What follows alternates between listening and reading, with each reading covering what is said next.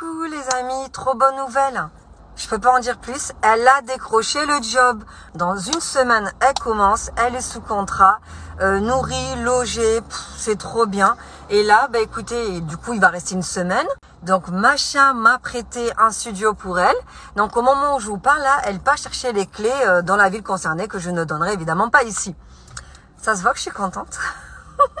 J'y crois pas. On est en train de la stabiliser. Ça y est, elle le mérite. Hein. Elle est géniale. Et l'autre jeune fille aussi est très bien à l'hôtel. Et elle s'installe chez une maman la semaine prochaine. Les deux sont stabilisés. Ah là là, que je suis contente.